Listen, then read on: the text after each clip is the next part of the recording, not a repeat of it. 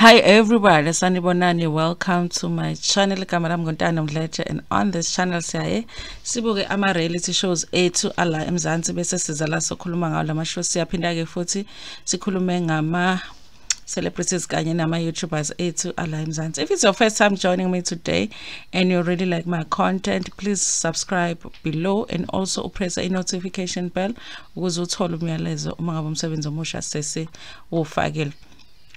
So you guys, yesterday I did a video where I was talking about Utato Montse from Real Housewives of uh, Cape Town.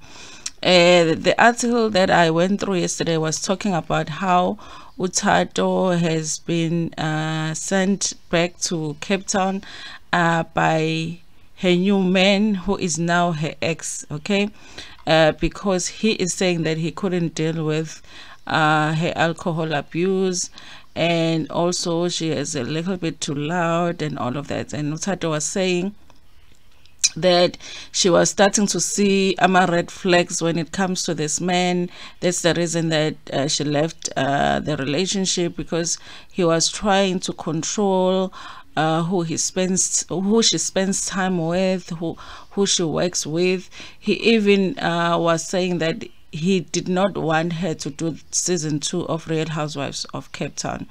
And so she uh, left the relationship. So i guess that the the decision to uh, actually uh, go apart uh, was mutual. Because it doesn't sound like Utsato wanted to stay in the relationship and also the guy didn't want her you know to stay uh, with him. So they're no longer together. She is back in Cape Town. Okay and I think it's probably right in time uh, to shoot uh, Real Housewives of Cape Town season two if she is going to do uh, season two of Real Housewives uh, of Cape Town. Okay. So, but then since I was uh, reading uh, about Utato yesterday, you know what the internet does is that it also suggests more articles on the same uh, person, and this is what Google did. Okay, so there is uh, this article that is written about the interview that Utato had done here on YouTube which I wasn't uh, aware about you guys. And I like this because obviously after the season had ended for Real Housewives of Cape Town, her husband, or should I say her ex-husband, uh, Mohammed, the one that she talks about a lot uh, in season one of Real Housewives of Cape Town, had done an interview uh, telling his side of the story after the season had ended.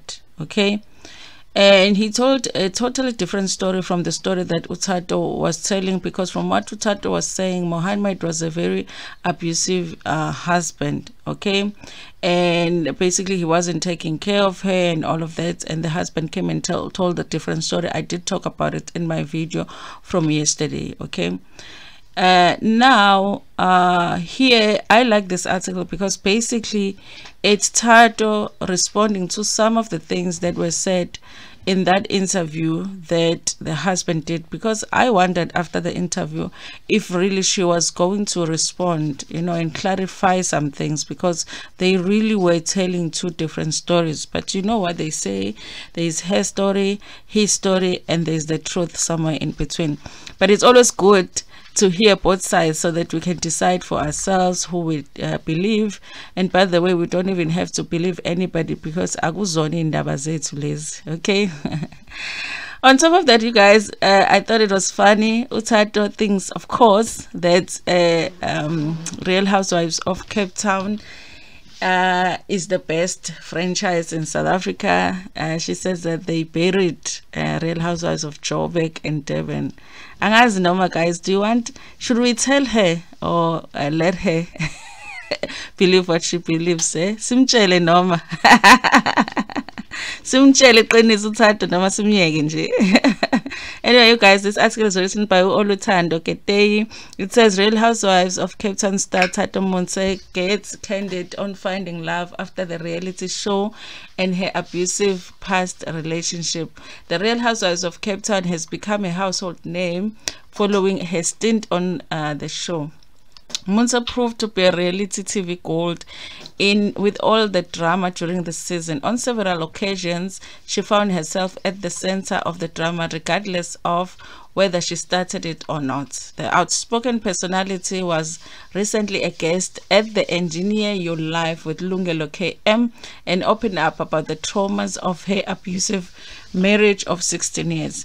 Montse also spoke about how being a cast member of Real Housewives of Cape Town has made life easier for her in the dating scene. I was single until Durban July weekend last year, where I met my new man who is an ANC politician. Guys, who is that politician? Because I've been looking for photos and I haven't found them. Okay, we met at the foyer of a hotel in Umhlanga, and ever since we now live together in Harties and are building a life together. The couple already made their red carpet appearance when they attended the uh, inauguration of Basadi in Music um, Awards last year, hand in hand. Montse encoded that a lot of politicians, millionaires, and billionaires are in the queue to try and get her. I am a quality woman who is self-made. No wonder they are all after me. Okay. Montse also threw a few jabs at other real uh, housewives franchises in South Africa. Uh, we bury them. No one talks about Real Housewives of Durban, Pretoria, and Johannesburg anymore. Cape Town had the highest viewership, and we are trending every week. The Real Housewives of Cape Town ended their season in October with over half a million viewers, according to the Broadcast Research Council of South Africa. Montse's relationship with wine during the first season of reality show had the housewives and viewers concerned. However, during her podcast interview, she denied having issues with drinking. She, however, opened up and acknowledged that she cheated a lot as a means to deal with the trauma she survived at the hands of her ex-husband who started beating her up with her son um, was when her son was a day old. I had no identity of my own. He used the fact that he had money to strip me of my identity by isolating me and beating me up in our fancy estate home in Cape Town. Montse laments that her son would witness as she was gruesomely beaten uh, by the father and she still worries about how it has affected him. I left when I was financially right. As soon as I made enough money, I got a, I got strength to live because I could no longer take being a punching bag. Because I was so happy, I cheated I was so unhappy I cheated on Mohammed, my ex-husband, multiple times as means to find happiness somewhere. I found myself a new boyfriend whom I really loved until now. I, I love and I disappeared from my marital home with Mohammed to go and marry my new man traditionally. Montse also opened up to Lungelo KM that her uh, sex life with Mohammed was non-existent as he was always busy and they were always fighting. I told Mohammed that I am going to Woolworths and then I went to get married to my Namibian prince. Hi, Philo I was very happy with my new husband, and that's when uh, Mohammed attacked him and got arrested. Till now, Mohammed has a criminal record uh, for that. Whew, you guys, let's see.